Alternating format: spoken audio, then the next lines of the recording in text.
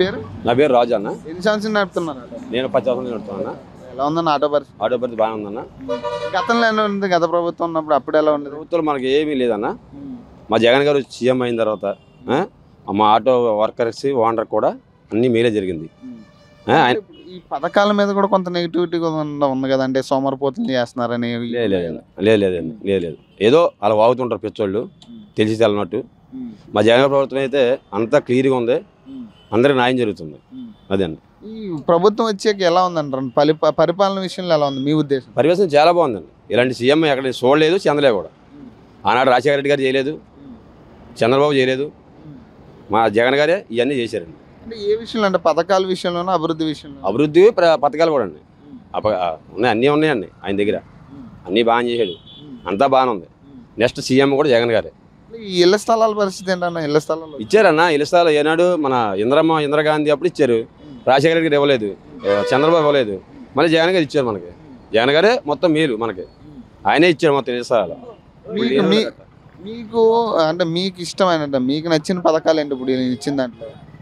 Auto వాళ్ళందరికీ ఉన్నాయి కదన్న. ఆటో వాళ్ళకి ఎవరికి ఈనాడు ఎవరు ఏం చేయలేదు. ఇప్పుడు రాజశేఖర రెడ్డి గారు జగన్ గారు చేస్తున్నారు. జగన్ గారు చేసేదంతా మా ఆటో వాళ్ళకి అంతా మేలే అది. అన్న. ఇదివరకు కాంతి ఉండే ఇప్పుడు అన్ని కాంతిలో పెట్టుకుంటున్నాం. రోడ్డు మీద జంచరే తిరుగుతున్నాం. ఎవరు ఆపినా ఆపుతలేదు ఆగుతలే. మాకు మాకు ఉన్నాయి మా జగన్ గారు ఉన్నారు మాకు అన్నీ ఇచ్చాడు.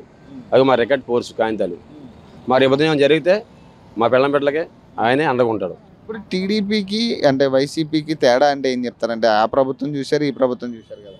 టీడీపీ అంటే అన్న అంత దొంగలు తినేస్తారు పెట్టరు వాళ్ళు అలా సంపాదించుకుంటారు. ఇది జగన్ గారి ప్రభుత్వం అందరికీ మేలు చేసేది అందరికీ పంచేది చెడ్డ మధ్య మొత్తం చూసేది ఆయనే జగన్ గారే.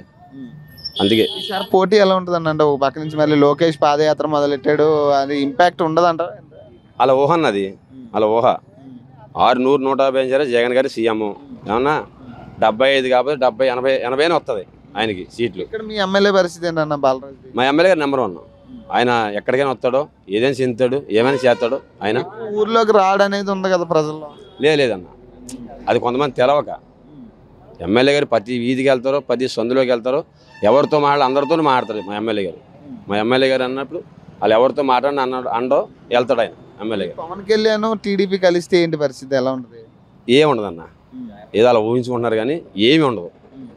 టీడీపీ కానీ బీజేపీ కానీ అందరు కలవని ఎవరు ఏమవుదో జగన్ గారి మట్టికి సీఎం అవుదు కన్ఫామ్ నూట డెబ్బై స్థానాలు వచ్చే ఛాన్స్ ఉంటుంది ఉండదండి నూట డెబ్బై సంవత్సరం